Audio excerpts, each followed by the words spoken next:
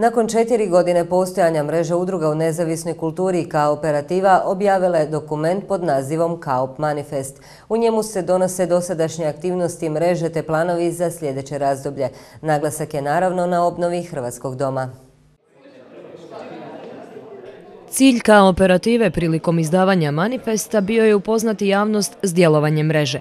Prvih je nekoliko godina trajalo oformljivanje same mreže i platforme, a paralelno su promođeni i neki projekti, te građana suradnja s gradom i ostalim partnerima. Kao operativa se bavila i bavi zagovaračkim stvarima, znači zagovaranjem za e, prostore, bolje uvjete, financiranje i tako dalje za nezavisnu kulturu, ali i za programe. Znači ona radi, e, članice rade brojne programe po, po Karlovcu tokom cijele godine.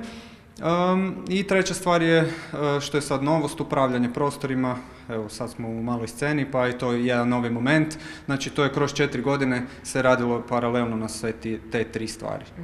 Oko kao operative trenutno je okupljeno 12 članica, što će vjerojatno ostati na tom broju, iako su sve udruge kao i inicijative željne suradnje dobrodošle. Po pitanju e, male scene e, za sad ide sve super i, i dosta dobro. E, suradnja Suradnja je ok, znači postoji taj godišnji iznos s kojim grad sufinancira jedan dio režija, ostalo mi participiramo zapravo u režijama kroz e, održavanje događanja ili korištenje ovih e, prostora za probe bendova, e, tako da u principu je mala scena održiva, ali mi gledamo na malu scenu ko dio cijele zgrade, ko je jedan specifični, koja je jedna specifična potreba koja je za sad samo u nekakvoj toj, kako bi rekao, alternativnoj ili urbanoj sferi, ali može biti šira kao i cijela zgrada, jer cijela priča koju kao operativa na neki način zagovara je otvaranje društvenog kulturnog centra u zgradi Hrvatskog doma. Namjera je prijavljivati se na natječaje i širiti djelatnost društvenih aktivnosti na cijelu zgradu, kaže Šavor. Za obnovu cijelog Hrvatskog doma treba financirati dobar dio dokumentacije. Prošle godine napravljen je operandum gdje je napravljeno prostorno programsko planiranje.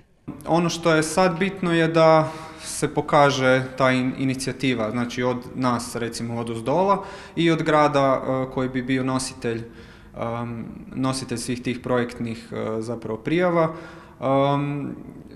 Početkom sljedeće godine, e, koliko znamo, bi se već moglo nešto ovaj, početi raditi u tom smjeru, tako da očekujemo otvorenu suradnju po tom pitanju. Kao operativa bi u sljedećem razdoblju htjela nadogradnju kako programa, tako i širenje mreže korisnika, te bolju suradnju s gradom. Ove godine organizirali su i tribine o Starom gradu, Vojarni Luščić, Kinu Edison, a tako namjeravaju nastaviti i dalje.